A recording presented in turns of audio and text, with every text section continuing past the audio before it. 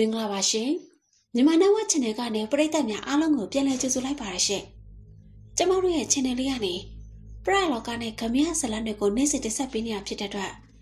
ဒီကနေ့မှာတော့ပရိသတ်တွေကိုစာရေးဆရာနောင်ရိုးစေးတက်ရေးသားထားတဲ့စနေသားနဲ့ဒေါ်ဘီဒါဘီငထွားဇလန်အပိုင်းခုနှစ်ကိုတင်ဆက်ပေးသွားတော့မှာဖြစ်ပါရရှင်ငထွားရွာသားရလေးစီကနေထွက်လာပြီးတလားလောက်ကြပါတော့ မြမပြည်အလဲပိုင်းစီရောက်ရှိလာခဲ့ပါတယ်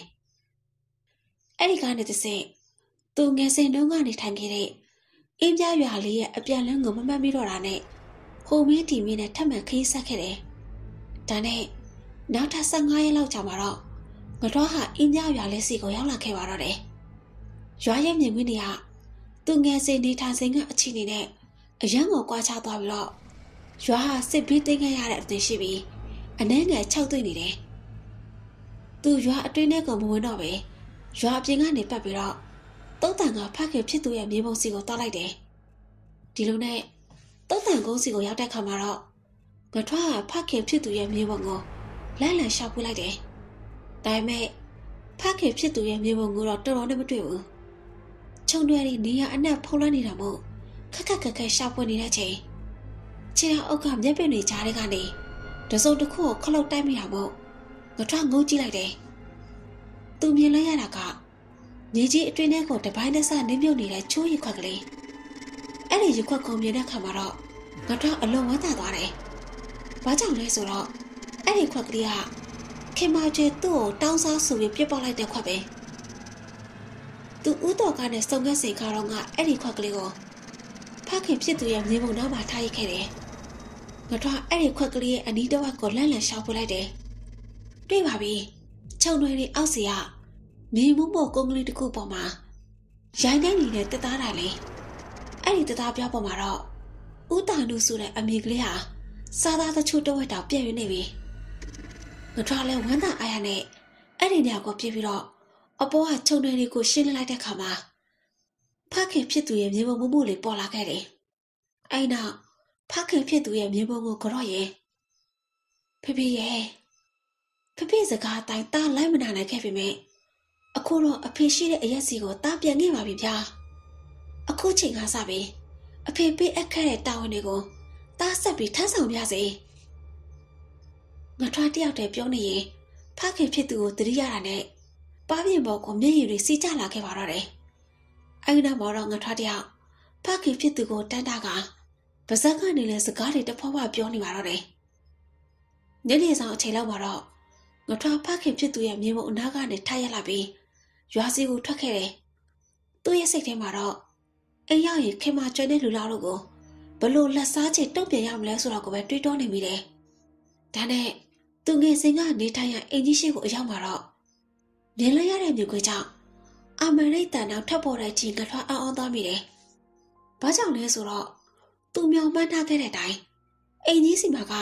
ခင်မကျွဲလို့ရှိမနေဘူး။ ဒါအပြင်အင်ကြီးဟာလူသူမနေတာနှစ်ကာလာကြာနေတဲ့အသွင်ရှိနေပြီးတချမ်းကလည်းမီးကျွဲပြီးတော့မှပြိုကျပြက်စီးနေတယ်။ငထွားအဲ့တဲ့မြင်ကွင်းကိုကြည့်ပြီးတော့အလွန်အံ့အားသင့်သွားတယ်။သူ့စိတ်ထဲမှာလည်းဘလို့အခြေအနေတွေကြောင့်ဒီအင်ကြီးဟာအခုလိုလူမနေပဲပြက်စီးခဲ့ရတယ်လဲဆိုတာကိုအဖန်ဖန်တွေးတောနေမိတယ်။ငါတို့အချိန်ဘယ်လောက်ကြာအောင်တွေ့ဝင်နေမိမှမသိ။တချင်းတန်ကိုကြားတော့မှသတိဝင်လာခဲ့တယ်။ သူတချင်းတန်ကြားရစီကိုလှမ်းကြည့်လိုက်တော့မလန့်မကမှာသူရှိနေရလန်တာတချင်းကိုကြီးရင်မျက်တောင်းကိုထမ်းပြီးရှောက်လာနေသူတယောက်ကိုတွေ့လိုက်ရတယ်။တဖြည်းဖြည်းနဲ့အဲ့လူကငထွားနီးကိုရောက်လာတော့ပြိုးနောင်ကြီးနောင်ကြီးကျွန်တော်နောင်ကြီးကိုမင်းဆရာရှိလို့ပါဗျ။နေပါဦးမင်းကိုဒီမှာငါတခါမှမမြင်ဘူးပါဘူး။ဟုတ်ကဲ့ကျွန်တော်ကဒီအိမ်မှာငငယ်ကနေခဲ့ရပါ။ကျွန်တော်အိမ်ကထွက်သွားတာကြာပါပြီ။ အခုမှပြန်ရောက်လာတာပါဒါနဲ့လေဒီအိမ်ကလူတွေဗံများရောက်ခုန်လဲလို့အဲ့ဒါတော့ငါလည်းမပြောတတ်ဘူးကွာငါလည်းဒီရောက်ကိုပြောင်းလာတာမကြသေးဘူးအဲ့တော့ဒီလိုလုပ်ကွာငါမင်းကိုတကြီးအိမ်ကိုခေါ်သွားပေးမယ်အဲ့ဒီကြားမှာအကျိုးကြောင့်မင်းပြီတော့ဟုတ်ကဲ့ငါထွားလေအဲ့ဒီလူရဲ့စကားကိုကောင်းချင်းပြပြီးနောက်နှစ်ယောက်သားရွာဘက်စီကိုရှောက်ခဲ့ကြပါတော့တယ်မြတ်ထန်သမားကခြံဝဲကြက်ကြီးတစ်ခုအတွင်းမှာစောက်ထားတဲ့ တင်ညောင်အင်ကြီးရှင်းပါရပြီးတော့တကြီးကိုအော်ခေါ်လိုက်တယ်တကြီးရေပြောတကြီးတကြီးရှင်ဘသူတွေလဲအော်ကိုကြီးအောင်မှုပဲအဖေကယာထဲကပြန်မြောက်သေးဘူးဟင်မမဆိုင်ငါတို့ပါဇက်ကနေအန်အော်တကြီးရေရွတ်လိုက်တယ်မိန်းကလေးဟာမမစိန်နဲ့ချွတ်စွတ်ပြီးပါခတ်တူနေတယ်ဒါပေမဲ့အသက်ကတော့ မမစိန်နဲ့ငရွယ်ပုံရတယ်အော်အေးအေးအေးဒီမှာအဲ့တဲ့ပါလာလို့နင်းဖြူကအဲ့ဒါတကြီးကဘယ်ချိန်လောက်ပြန်အောင်မလဲอืมခဏလောက်ဆိုပြန်အောင်မထင်တာပဲအေးဟာအဲ့ဒါဆိုလဲငါသူ့ကိုထားခဲ့လိုက်မယ်အိမ်ကိုမျက်တောင်းတောက်ပုတ်ပြီးပြန်လာခဲ့မယ်ငါနွားတွေအစာပြက်နေလို့ဟာအိမ်မအိမ်မတော့တော့အောင်ဘူးလေမျက်တောင်းကိုထိုင်ပြီးတော့မှထွက်သွားခဲ့တယ်ဟုတ်အကိုအ ဖေကတော့ပြန်မလာသေးဘူးရှင့်အဲ့တော့ဟိုကကိုပြစ်လေးစီမှာခဏထိုင်ဆောင်ပေးအောင်ကျမထမယုံတန်လန့်ကြီးမို့သွားလာအောင်မယ်နင်းဖြူကပြောမိတာနဲ့ခြာကနေလှက်ထပ်သွားခဲ့တယ်မထွားတော့မမစိန်နဲ့တူလွန်းနေတဲ့နင်းဖြူကိုငေးကြည့်နေမိရင်သူ့ရင်ထဲကဝေဒနာတွေကိုအပြေရှာနေမိပါတော့တယ်ဟဲ့နော်ကွေးဆိုကတ်တတနဲ့ကြည့်စားရုတ်တရက်ထွက်ပေါ်လာတဲ့နွားငေါတန်နဲ့ရက်တဲ့ကြောင့် ငထွားအတွေးလူနေရာကလည်းတတိဝင်လာခဲ့တယ်လှဲ့ရလူငယ်တူမောင်းလာပြီးတော့လှဲ့ရနောက်မှာတော့အသက်50ဝန်းကျင်လောက်ယောက်ျားကြီးတစ်ယောက်နဲ့မိန်းမတစ်ယောက်လိုက်ပါလာခဲ့တယ်ယောက်ျားကြီးကတော့ရွာတကြီးဖြစ်ဟန်တူတယ်ငထွားကြည့်နေတော့မှပဲလှဲပေါ်ကယောက်ျားကြီးကဆင်းလိုက်ရင်အော်အဲ့ဒါရောက်နေတာပဲဟဲ့ကောင်ငချမ်းပေးလှဲဖြုတ်ပြီးနွားတွေကိုအစာတခါတည်းကြွေကြလားဟုတ်ကဲ့ဖေ ကဲမောင်ကြီးကျုပ်ကဟော်ရီယောရဲ့တကြီးကန်လာပါပဲကျုပ်မောင်ကြီးကိုဘာများကူညီပေးရမလဲဟုတ်ကဲ့တကြီးကျွန်တော်ကငထွားပါဟိုရွာထိပ်ကပြုံနေတဲ့အိမ်ကြီးရဲ့ပါရှင်ဦးတာနုရဲ့တားပါခမဟာဦးတာနုနဲ့ငါကအရန်ခင်တာကွာနေအောင်မင်းကဒီကိုပြောင်းလာတော့ကကလေးပေါက်စနာပဲရှိသေးတာအခုကမနဲ့ထောလာလိုက်တာကြည့်စမ်းအေးမင်းအိမ်ကထွက်သွားတာကြာပြီဆိုတော့ ငါကမမှတ်မိဘူးဖြစ်သွားတယ်ကဲလာကွာအိမ်ပေါ်သွားပြီးအေးစစ်စစ်စကားပြောကြရအောင်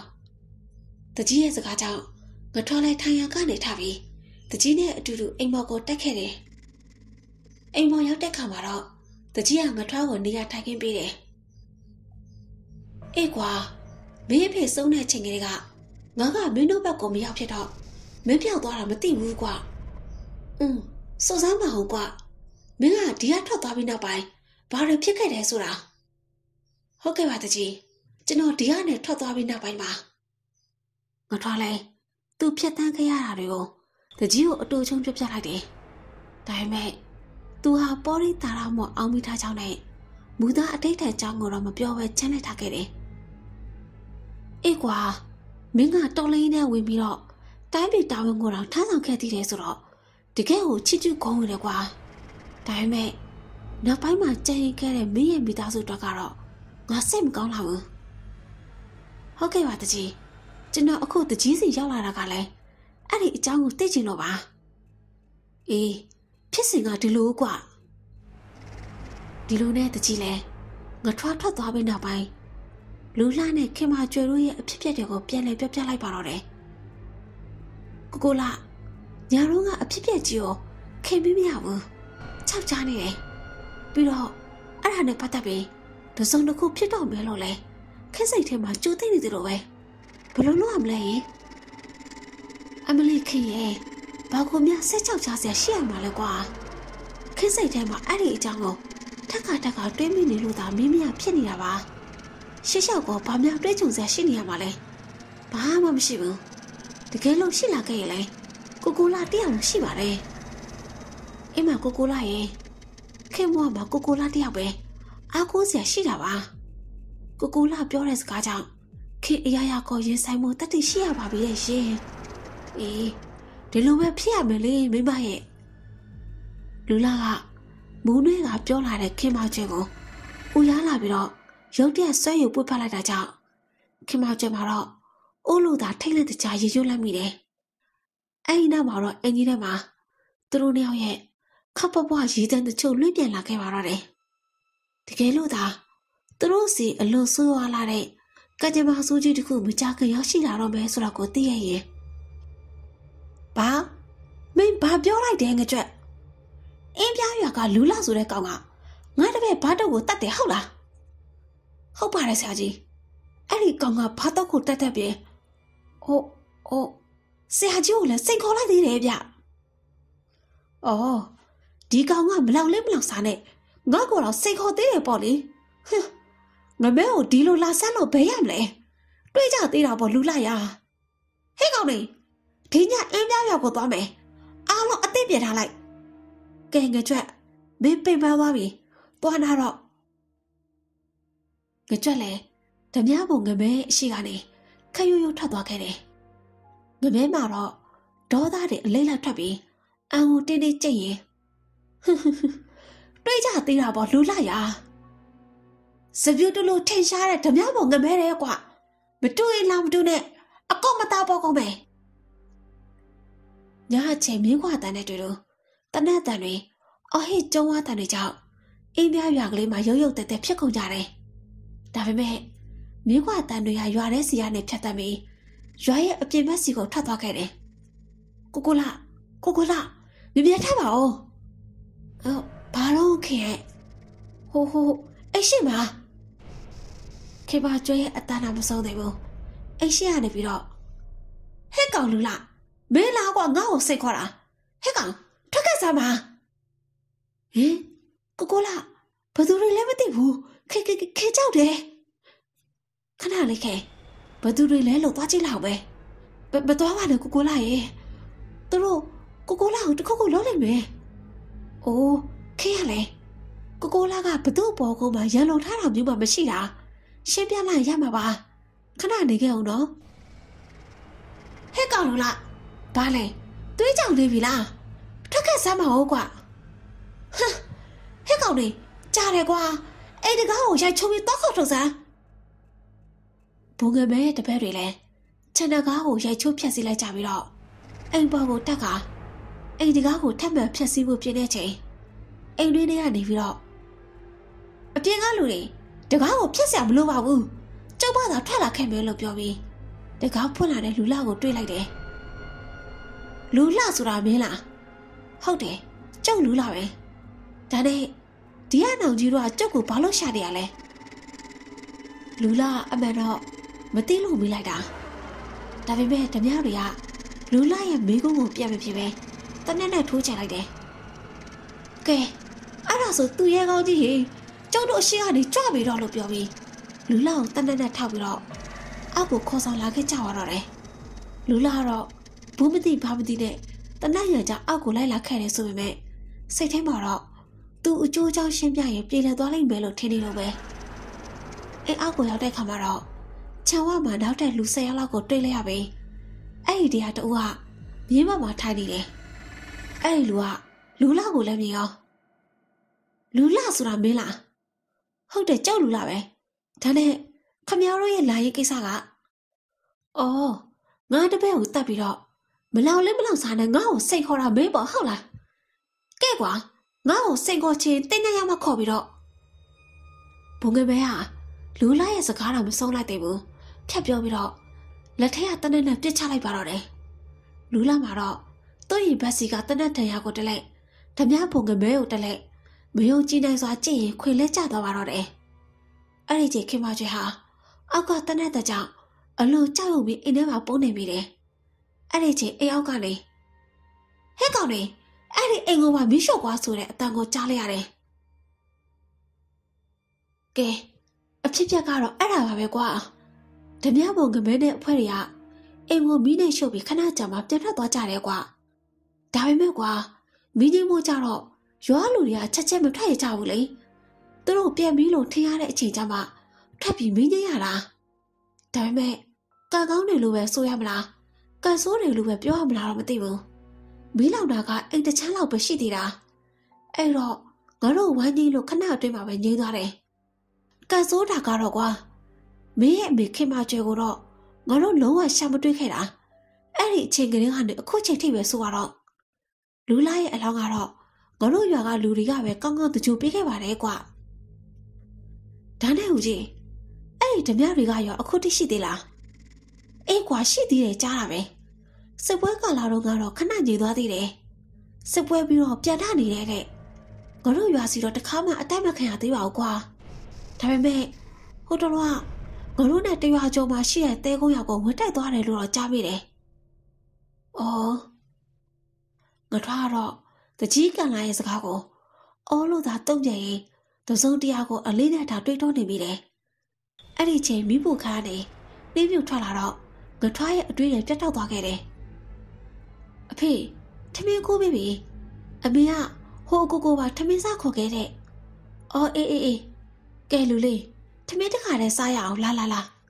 ။ငါထွားလဲမကြည့်တော့ပဲ။တကြီးကန်လာတဲ့တူတူထမင်းဝါစီကိုလိုက်လာခဲ့ပါတော့တယ်။ ငါထွားတယောက်အနေငယ်မွေးချိုးချိန်မှာတော့တကြီးဥက္ကလန်အိမ်ကနေပြတ်ထွက်လာခဲ့တယ်။တကြီးကတော့သူ့အိမ်မှာညာအိမ်ဖို့ပြောတယ်ဆိုပေမဲ့တပီးပြိုရှိနေတဲ့အိမ်မို့သူ့အနေနဲ့အလိုက်သိရပါမယ်။ဒါကြောင့်ငါထွားပြတ်ထွက်လာခဲ့တယ်။ဒါပေမဲ့သူဘယ်ကိုသွားမယ်မသိ။နောက်ဆုံးတော့ကြံရများတဲ့ဆုံးသူငယ်စင်ကနေခဲ့တဲ့မီးလောင်ထားတဲ့အိမ်ပြက်ကြီးစီကိုပဲထွက်လာခဲ့တယ်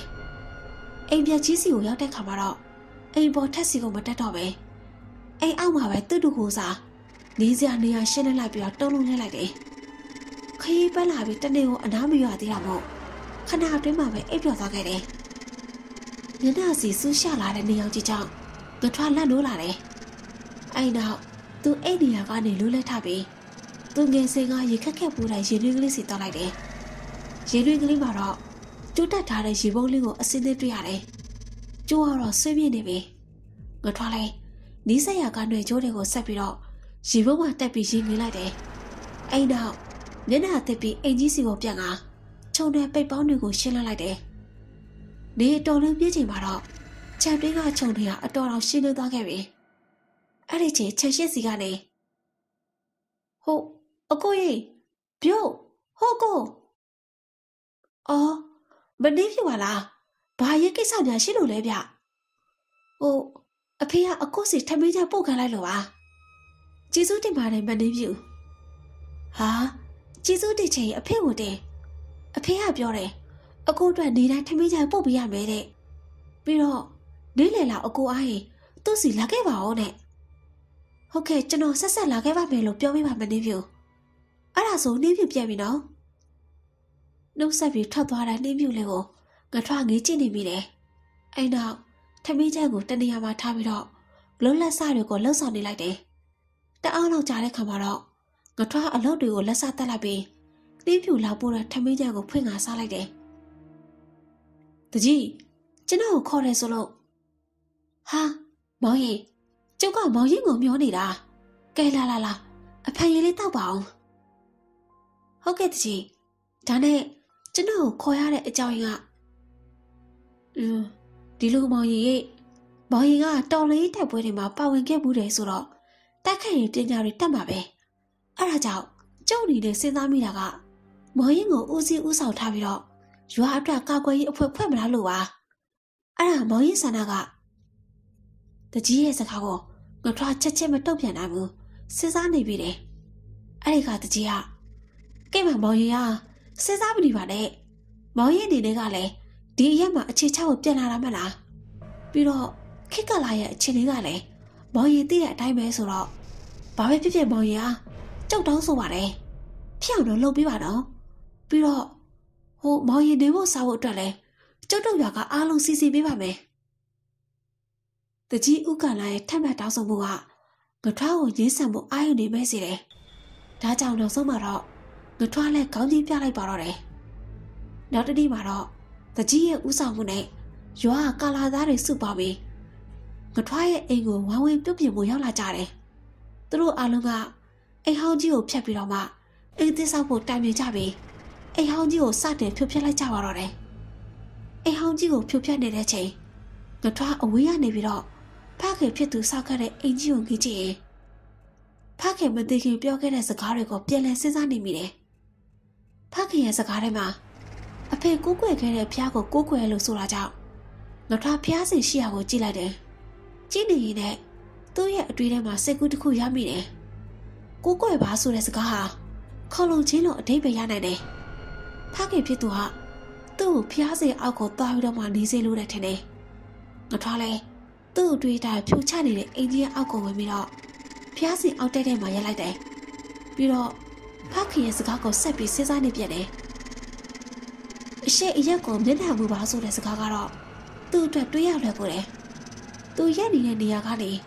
အရှိရက်စီကိုမျက်နှာမူလိုက်တယ်အဲ့တော့သူဆက်ပြီးစဉ်းစားလိုက်ပြန်တယ်အဖေရဲ့အသက်အရွယ်ကိုရောက်ရင်ရက်တက်မှာနရှမ်းစာဖော်တော့ပါဆိုတဲ့စကားကတော့ငထွားအတွက်အလွန်ရှောက်ထွေးတွေ့ဝေစေတယ်သူ့ရဲ့အသက်ကအခုမှ20ဝန်းကျင်သာရှိသေးတာဆိုတော့ဖခင်ရဲ့အသက်ကိုရောက်ဖို့ဆိုရင်အဝေးကြီးလူနေသေးတယ်ဒါဆိုရင် ဖခင်ရဲ့စကားကဒီမှာနဲ့လမ်းဆောင်နေတာမဟုတ်လားငထွားဆက်မတွေ့တတ်တော့ဘူးအဲ့ဒီချိန်မှာပဲအိမ်ဖြုံနေတဲ့အဖွဲစီကနေဟဲ့အောင်ဘာဘူးငါ့ကိုဟိုနားကတက်တားလူလေးကမ်းပေးပါဦးဟာဘယ်နားကတက်လူလဲဗျဒီမှာတက်လူဆောက်ရအများကြီးပဲဟာဟာကွာမင်းရဲ့အရှိဘက်ခြေလန်းခုနှစ်လန်းစာလောက်အကွာမာလေကွာအေးအေးအေးအဲ့ဒီဟာကိုပြောတာသူတို့ရဲ့စကားကိုနားထောင်ရင် ငထွားကောင်းထဲမှာဖခင်ရဲ့စကားရအသက်ကိုညှိုးဆိုခြင်းကခြေလန်းကိုအသုံးပြုခိုင်းတာဖြစ်ရမယ်လို့တွေးပြီးလိုက်ပြီအရှိဘက်ကိုမျက်နှာမူပြီးတော့ခြေလက်80ပြည့်အောင်လှမ်းလိုက်ပါတော့တယ်ခြေလက်80ပြည့်ပြီးတော့မှတော့ငထွားအဲ့ဒီနေရာကိုမှတ်သားထားပြီးစိတ်ထဲမှာလဲသူအခုလုံနေတာတွေကမအိမ်မမှန်အိမ်အသာထားတကယ်လို့မှန်ခဲ့တယ်ဆိုရင်အခုချိန်ဟာလူများနေသေးတာမို့အဆင်မပြေဘူးဒါကြောင့်လဲည ဘာသာတူးဖို့ကိုအဆင်ပြေမဲလို့တွေးပြီးတော့ငထွားအဲ့ဒီနေရာကိုအမှတ်သားပြုတ်ပြီးအိစီကိုပြန်ပြီးတော့လုံးစရာရှိတာတွေကိုဝမ်းကူလုပ်ပြလိုက်တယ်အဲ့ဒီချိန်တော်ရီတနေရာကတင်လွန်းအင်္ဂလိပ်စီကိုလူတယောက်ခတ်တတုံရှောက်လာတယ်အဲ့ဒီလူကအိမ်တလုံးအနီးနားကိုရောက်တဲ့ခါမှာတော့အိမ်ထဲကိုတခုခုအော်ဟစ်ပြောလိုက်တယ်တအားလောက်ကြားတဲ့ခါမှာတော့အဲ့ဒီအိမ်တကားပွင့်လာပြီးကနွယ်ကလျာနဲ့မိမရှာတယောက်ထွက်လာပြီး အဲ့ဒီလူကိုအိမ်ထဲခေါ်ဆောင်သွားခဲ့တယ်အိမ်ထဲကိုရောက်တဲ့ခါမှာတော့သူတို့နှစ်ယောက်ကကလကတစ်ခုရဲ့အရှိမရလိုက်တယ်နန္ဒငါစီကိုနေရောက်လာပြီဆိုတော့ငါစောင့်ကြည့်ခိုင်းတဲ့ကိစ္စတခုကိုထူးခြားလာပြီမလားဟုတ်တယ်မထူးခြားလို့ကြောက်မစီရောက်လာတာပါအေးဘာလဲထူးခြားလဲထူးခြားတာကတော့လူငယ်တဲ့တပတ်လောက်ကရွာကိုဥတာလူရဲ့တာငထွားဆိုတဲ့လူငယ်တယောက်ရောက်လာတယ်အခုအဲ့ဒီလူငယ်က အိမ်ပြက်ကြီးကိုပြစ်ပြီးအဲ့ဒီမှာနေဖို့လွတ်နေပါတယ်အဲ့ဒါအော်ငထွားငထွားနောက်ဆုံးတော့လေဒင်းကလေးကပြန်ရောက်လာပြီပေါ့အဘကျောက်ဘာဆက်လုပ်ပြရမလဲရပြီနဲ့တော့မင်းရဲ့တာဝန်ချင်းပြီကျန်တော့ငါတို့အပိုင်းပဲကဲမင်းပြန်တော့အဲ့ဒီကနန္ဒဆိုတဲ့သူကအင်္ဂလိပ်ဆီကနေထွက်ခွာလာခဲ့တယ်သူလည်းထွက်သွားပြီးရော ကလကနောက်ကွယ်ဟာအမျိုးသမီးဟာစာတစောင်းကိုအမြန်ရေးသားလိုက်ပြီးတော့အခန်းပြင်မှာရှိနေတဲ့သူတပည့်မင်းမရှာကိုခေါ်လိုက်တယ်ဟဲ့မေခဒီစာကိုအကိုကြီးစီရအောင်ပို့ပေးရော့ဆိုပြီးပြေးလိုက်တယ်မိမရှာကလည်းစာအုပ်ယူပြီးနောက်အထက်ကအမျိုးသမီးကိုအယိုသေးပြုတ်ပြီးထောက်ခွာသွားခဲ့ပါတော့တယ်ဒီလိုနဲ့နှစ်ရက်လောက်ကြားတဲ့ခါမှာတော့ငထွားရဲ့အိမ်ကပြီးစီးသွားခဲ့ပြီအဲ့ဒီတော်တင်ငထွားဟာသူ့မှာထားတဲ့နေရာကို တွားရောက်တူးပေါ်ခြင်းမပြုခဲ့ဘူးလူကိုယ်တိုင်ကမှအားရပြေညစဉ်ညတိုင်းကြေးရွာကာကွယ်ရေးအတွက်တကြီးအိတ်စီကိုသွားပြီးတော့အစီအစဉ်တွေကိုရေးဆွဲနေရတယ်အဲ့ဒီခဏတာချိန်တွင်နင်းဖြူနဲ့သူလည်းအတော်လေးရင်းနေခဲ့ရပြီအခုလည်းငထွားတယောက်တကြီးအိမ်ကိုရောက်နေပြန်တယ်နင်းနဲ့ထမင်းစားချိန်ကလေးကရောက်ရှိနေတာအခုညနဲ့တက်ကြီးခေါင်းချချိန်ထိပဲကဲမောင်ရင်အဲ့ဒါဆိုရင်မနေ့ပြန်မနေ့ကောကြုံမောင်းတီးပြီးတော့ ရွာသူရွာသားတွေစီအခုဆွဲထားတဲ့အစီအစဉ်တွေကိုချပြလိုက်တော့မယ်ဟုတ်ကဲ့ပါတကြီးဒါပေမဲ့တကြီးစုဖွဲ့မှုတော့တပတ်ခါကြာမှပဲစတင်ကြရအောင်မနေ့ပြန်ကိုကြတော့ကျွန်တော်အိမ်မှာအလုံးလေးနည်းနည်းရှိသေးလို့အေးလေဒါဆိုလည်းကောင်းပါပြီမောင်ရင်အဆင်ပြေတဲ့နေ့စပေါ့ကဲအခုတော့ညာလဲနှက်ဖီမို့လို့ပြန်တော့ကြောက်သားကိုအဖေါ်ထည့်ပေးလိုက်မယ်ဟာနေပါစေတကြီးကျွန်တော်ပြန်လို့အဆင်ပြေပါတယ် ဒီလိုနဲ့ငါထားလိုက်တကြီးကိုနှုတ်ဆက်ပြီးပြန်ခဲ့တယ်တလုံးအင်္ဂလိပ်စီကိုဝင်လာတဲ့မေခကိုကလကာနောက်ကွယ်ကအမျိုးသမီးကမေခအကိုကြီးကပါတယ်လေတပတ်ခါသူလာခဲ့မယ်တဲ့ဒီကြားတဲ့သူ့ရွာတယောက်ကိုဝင်စရာရှိသေးလို့တဲ့သူရောက်လာတော့မှအစီအစဉ်ဆွဲချမယ်နဲ့မမငါဒီကိစ္စကိုအနည်းနဲ့အလားလားစောင့်စားနေခဲ့ရတာအခုလိုအချိန်ကတိတ်လာတော့ငါထပ်ပြီးမစောင့်ချင်တော့ဘူး ဟုတ်ကဲ့ပါမမငါနဲ့ကိုပြောနေတာမဟုတ်ဘူးမေကနေရမစက်ကိုပိတ်ထားစမ်းအမျိုးသမီးကသူညီးသွားနေခြင်းပေါ့မဲခဆိုတဲ့မိမရှာကစကားထောက်ခံတော့စိတ်ဆိုးစွာနဲ့မမဲလိုက်တယ်ပြီးတော့ဟဲ့နေသွားတော့မဲခပေးငါစိတ်ထမင်းလာပို့ပြီးကြားလားမဲခတယောက်အင်္ဂလိပ်တွေကနေထွက်လာခဲ့ပြီအပြင်ရောက်တာနဲ့ပါဇက်ကနေမင်းမရှာပြပြမကြည့်မနဲ့နဲ့တောက်ကြိုစိုးမကြီး ဒီရောက်လာကြရငါတို့စခန်းမှာကြပြားကဆန်တွေဖြစ်ကုန်ရတယ်ငါဆိုလဲသူကြောင့်အရင်လုံးမောင်ကြီးတို့ချာမနေရတော့ဘူးဟွန်းတော်တော်ကြက်တည်းတုံးနေဟာမကြီးမေခတယောက်မှာတော့တတိုးတိုးကြီးသွားရင်ထွက်သွားခဲ့ပါတော့တယ်ဖြာချနေတဲ့လိုက်အောင်ကိုအားပြုရင်ရွာပြည်တလင်းစီမှာငါထွားတယောက်ရွာကလုံခြုံရေးတပ်ဖွဲ့တွေကိုတင်တန်းပေးနေတယ်သူတက်မြောက်ထားတဲ့လက်ဝဲပညာကိုညနေဆောင်ချိန်ကလေးကစတင်တင် जा ပေးနေခဲ့တာညနေတဲ့ထိပဲ ကဲအားလုံးပဲတခါလောက်လုပ်ပြီးအပြီးနာကြတာပေါ့ဟုတ်ကဲ့လူငယ်တွေကိုငါထွားအခုလိုပြောလိုက်တော့လူငယ်တွေကလည်းတံပြန်ညီညွတ်စွာနဲ့ပြက်ဖြစ်ကြတယ်အဲ့ဒါတလေးထဲမှာလူငယ်တွေရဲ့အားကျုံမဲ့တက်လေးချက်တန်တွေပြည့်လွတ်လာခဲ့ပါတော့တယ်အဲ့ဒီချိန်မှာပဲရွာဘက်စီကနေတနတ်တန်တွေထပ်ပေါ်လာခဲ့ပါတော့တယ်ပရိသတ်များရှင်စနေသားနဲ့ဒေါ်ဘီဓာဘီငထွားဇလန်အပိုင်းခုနှစ်ကတော့ဒီလောက်ပါပဲနော် အပိုင်းရှင်းမှာတော့ငထွားကိုအနာယူဖို့အတွက်ခင်မကျွဲတို့ဟာစနေသားမောင်တလုံးကိုဘလို့ရှာပုံတော့ဖွင့်မလဲဆိုတာပရိသတ်ကြီးကစောင့်မျှော်အားပေးနားဆင်ပေးကြပါဦးရှင်အချိန်ပေးပြီးနားဆင်အားပေးခဲ့ကြတဲ့ပရိသတ်များတူချင်းစီကိုကျေးဇူးထူးပဲတရှိသလိုစာရေးဆရာနောင်ရိုးစိတ်တက်ကိုလည်းကျေးဇူးထူးပဲတရှိပါရရှင့်ဒီဇလန်လေးကိုတင်ဆက်ပေးခဲ့သူကတော့ကျမတကူမိပဲဖြစ်ပါတယ်ပရိသတ်များအားလုံးပဲကံကောင်းခြင်းပျော်ရွှင်ခြင်း ကျမချင်းတွေကိုပဲအစင်ထာဝရပိုင်ဆိုင်နိုင်ကြပါစေရှင်။